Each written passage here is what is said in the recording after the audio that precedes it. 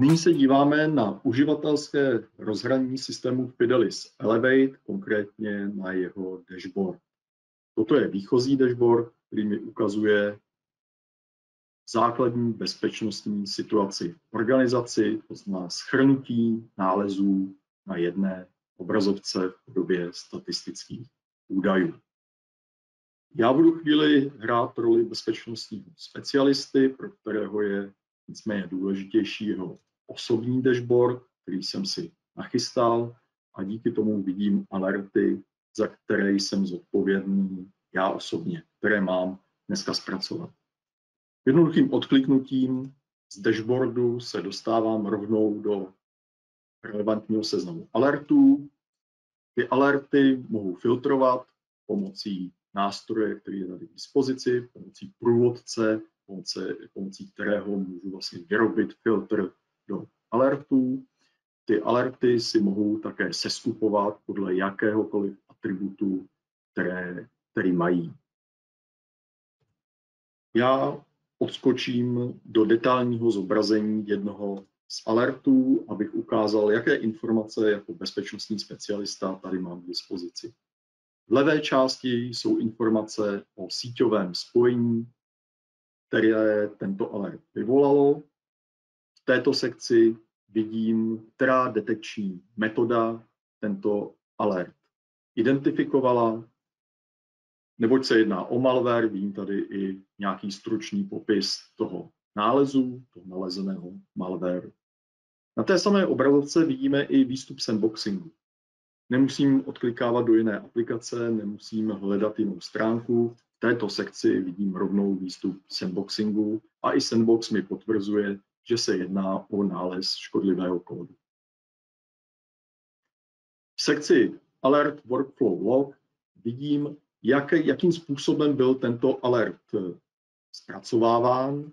Je to sekce, do které můžu doplňovat vlastní poznámky a je to sekce, ve které vidím, jakým workflow ten alert vlastně prošel. To je možné díky tomu, že u nás ty alerty mají charakter tiketu a lze nad nimi implementovat i jednoduchá workflow.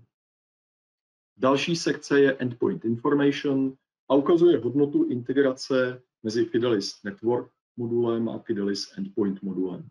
Ve chvíli, kdy je koncový bod monitorován Fidelis Endpoint modulem, mám rovnou u alertu i k dispozici informace o tom, jaká činnost uživatele nebo aplikace tento alert vyvolala.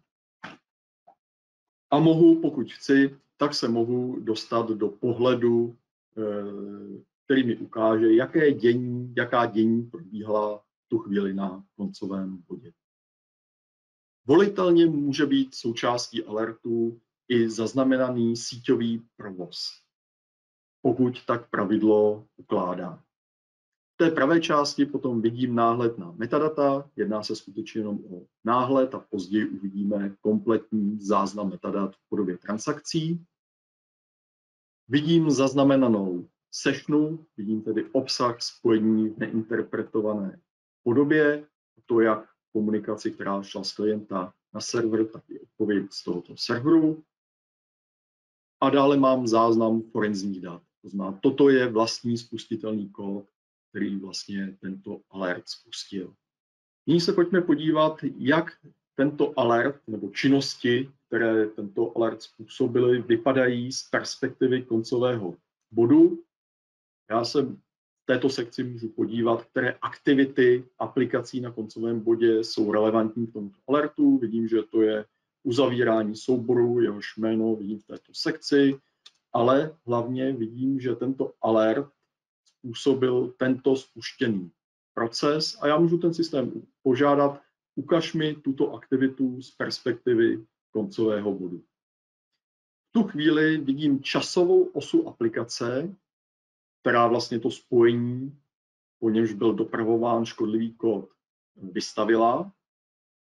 Vidím i procesní strom, který vedl ke spuštění této aplikace. A pokud chci, můžu investigovat, můžu zkoumat, eh, co vedlo uživatele k tomu, že eh, spuštění této aplikace vůbec došlo. Jak vypadal procesní strom, jak vypadaly aktivity uživatele. Zde vidím, že Firefoxem pravděpodobně stáhl Excelovou tabulku, to vedlo ke spuštění Excelu a Excelu obsažené makro vedlo ke stažení a následně ke spuštění škodlivého kódu.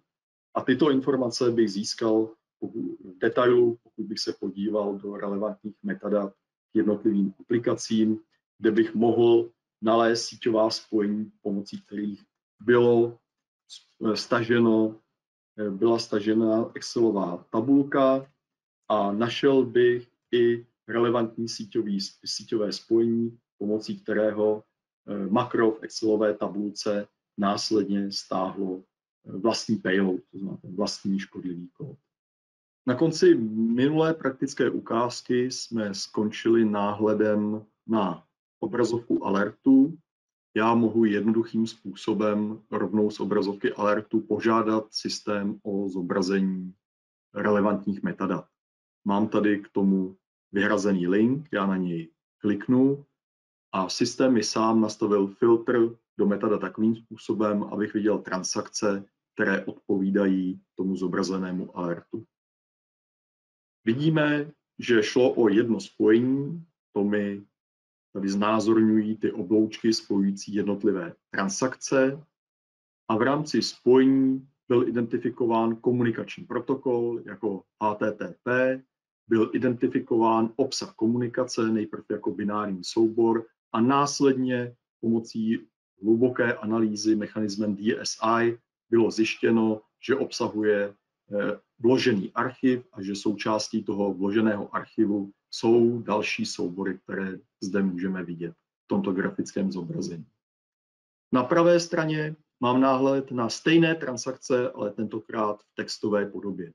To znamená, mohu se seznámit s tím, že obsahem toho spojení byl samorozbalující se archiv v podobě exe souboru, který byl ofuskován pomocí několika jednoduchých metod a vidím, jaký je, jak, jaké, jaký je obsah tohoto archivu, že jsou v něm uložené další spustitelné soubory a množství jiných souborů. Pokud chci, mohu modifikovat filtr, který vznikl odklikem z alertu, dejme tomu tím způsobem, že požádám systém, aby mi ukázal všechna spojení, která byla vystavená z dané klientské IP adresy a mohu analyzovat vlastně kontext této události. A mohu zjistit, že tento alert je součástí několika fázového útoku, který začal doručením škodlivého kódu typu downloader uživateli pomocí e-mailu, následovalo stažení vlastního payloadu pomocí downloaderu, jeho spuštění, vystavení command and control spojení a úplně na konci jsme svědky exfiltrace ukradených dat. Všechny tyto informace, které jsem jenom v rychlosti zmínil, bych byl schopen eh, validovat a potvrdit analýzou jednotlivých transakcí, které zde vidíme. Detekční a zejména reakční schopnosti systému jsou doplněny automatizací. Díky tomu jsme vytvořili eh, v podstatě novou kategorii, která se nazývá ADR, nebo automatická detekce a reakce.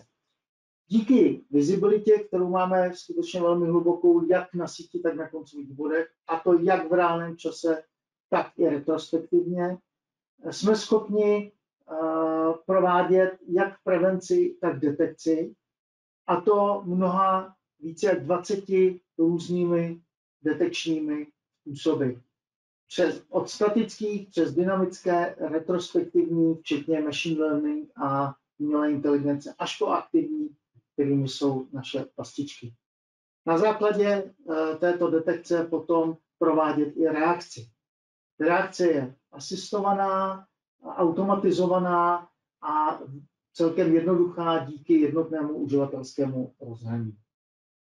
Na to, abyste lépe pochopili vlastně celou platformu, rád bych vám ukázal i přehledovou architekturu řešení. V pravém dolním rohu ta země koule představuje internet, v levém dolním rohu je vnitřní infrastruktura zákazníka.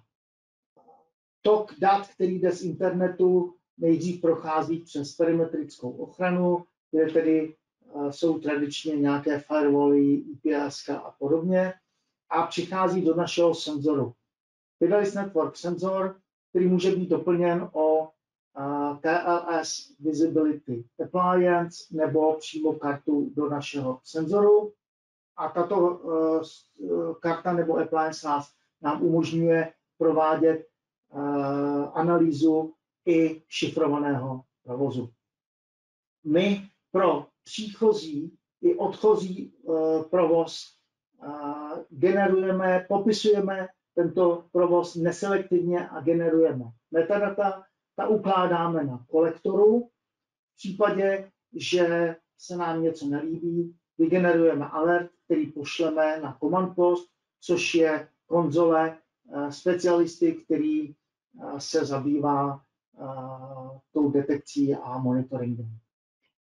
Do command postu nahráváme nebo, nebo loadujeme threat Intel, který vytváříme jak pomocí našeho vlastního threat research týmu, tak i konsolidujeme z více než 50 různých zdrojů celosvětově. A Command Post je zodpovědný i za komunikaci do různých CMů, eventuálně SOARů, a kde jsou připraveny již eh, konektory pro všechny známé CMy typu ArcSight, eh, Splunk, QRadar a podobně. A další volitelnou eh, komponentou systému je Sandbox, který můžeme mít buď on-prem nebo využíváme Sandbox v našem cloudu. V levé části vidíte Fidelis Endpoint, který je formou agentů na jednotlivých stanicích či serverech, podporujeme i serverová, serverové operační systémy a e, v síti interní používáme Fidelis Deception, čili systém pastiček. Pokud bychom uh, chtěli uh, ukázat, jak je naše platforma Elevate multifunkční, zde vidíte jednotlivých sekcích uh, které funkcionality vlastně pokrýváme naší platformu Fidelis Elevate, čili zelená políčka jsou uh, pokrytá Fidelis Elevate. A uh, na závěr bych vám ještě rád ukázal pokrytí uh, MITRE Attack frameworku. Zde vidíte pokrytí těmi jednotlivými našimi a částmi Fidelis Elevate platformy, červená Deception, žlutý endpoint, modrý network a potom samozřejmě určité části, které jsou pokryty eh, kombinací těch jednotlivých eh, částí platformy. A nezbývá, než poděkovat vám za vaši pozornost a navrhnout vám eh, proof of concept, kde vám velmi jednoduše zmapujeme váš terén, vytvoříme profiling celé vaší sítě. Společně můžeme nadefinovat kritéria úspěšnosti. Ta instalace POC je velmi jednoduchá, jak z hlediska časového, tak z hlediska nároků na vaši infrastrukturu. Takže děkujeme za váš čas a nashledanou.